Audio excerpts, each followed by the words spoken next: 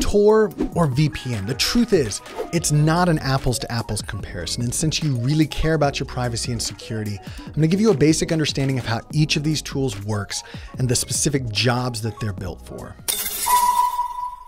Welcome to All Things Secured. My name's Josh, and I'm going to start off answering this question with another simple yet important question of my own. Is your reason for using this kind of privacy technology to keep you from getting in trouble? If the answer is yes, well, then Tor is probably your best option. If your answer is no, well, then a VPN might be recommended. And when I say trouble, I'm not talking about illegal activity. I'm specifically referring to dissidents in places like China or Russia fearing political backlash, to journalists looking to protect their sources, or to whistleblowers hoping to protect themselves. Because as an average internet user, you need to be honest with yourself here. True security and anonymity is impossible unless you abandon the internet altogether. So everything else is best measured not in binary terms. Yes, this is private. No, this is not private but rather measured in degrees of strength. And that's why a nuanced answer is necessary when comparing Tor versus VPN. Now, I'm going to provide a comparison between the two, but if you watch to the end of this video, I want to offer another lesser known solution that might work because it combines the strengths of both of these tools into one. And while we're at it, click on that subscribe button below to make sure you get more great security content on this All Things Secured channel. Okay, let's dive in. Tor also known as the onion router, takes its name from the way in which it transmits data in layers. It takes your data, including identifiable information such as your IP address, and it wraps it up in multi-layered encryption and sends it through a network of randomly selected relay servers, each of which only knows their small portion of the journey and not the entire entry to exit transfer. Let me give you another simplified example to help you explain this better. Imagine that I want to send a top secret message to my parents without them knowing that it was me who sent it. I wrap up this message in an envelope and address it to my friend but I don't put my return address on it. So when I give this envelope to the mailman, he doesn't know where the letter is ultimately going to end up. He just knows to deliver it to my friend. Now, when my friend receives the letter, he doesn't know where it came from since it has no return address. All he knows is that when he opens it up, there are instructions to give it to my parents. Now, finally, when my parents receive this message, all they know is that it came from my friend, but they won't have any information as to the origin of the message. That, in simple terms, is Tor. This approach provides a lot of anonymity, and it's the best option for those who are truly concerned about somebody following their internet traffic.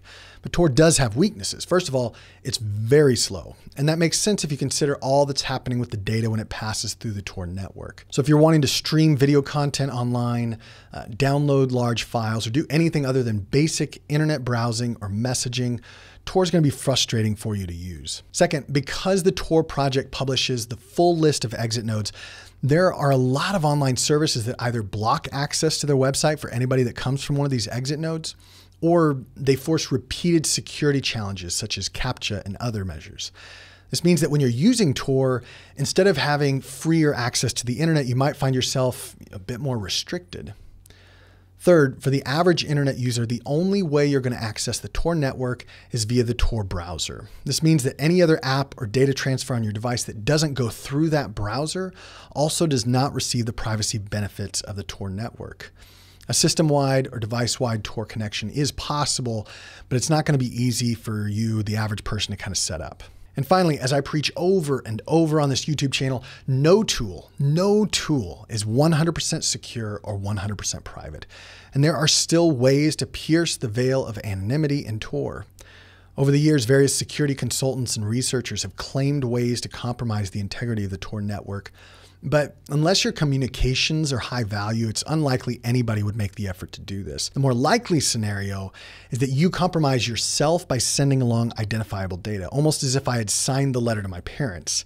It completely defeats the purpose of sending an anonymous message in the first place. Oh, and I almost forgot to mention one last thing Tor is free, which is definitely a bonus. But this reliance on volunteers is precisely why the network hasn't grown very fast over the past decade. And it brings up legitimate concerns about who owns these nodes and why they're willing to absorb the costs of running them for free. How does this compare with a virtual private network or a VPN? Well, to start, a VPN wasn't designed to be a privacy tool. It was initially designed as a way to securely connect to a remote server. This is often used by companies to allow remote employees or offices to plug into the primary company network. But the idea has since grown to include individuals like you and me who want to either hide our IP address or connect to internet from a different geolocation. And that's really what a VPN does best hiding your IP address and changing your perceived location. I mean, there is an additional layer of encryption that happens between you and that VPN server you connect to. But once your internet traffic leaves that VPN server, the encryption is also gone. So take that for what it's worth. And this is why it bothers me that so much of the VPN industry and many of the influencers and content creators who make money here tend to promote the privacy and security as the primary selling points of a VPN. As I've made clear in another video about why you should stop using a VPN, the truth is that a virtual private network is best used to evade censorship, protect your IP address and or access geo-restricted content like Disney Plus, BBC iPlayer, and more. Unlike Tor, a VPN allows you to easily choose your exit node, which is better when trying to stream this kind of block content.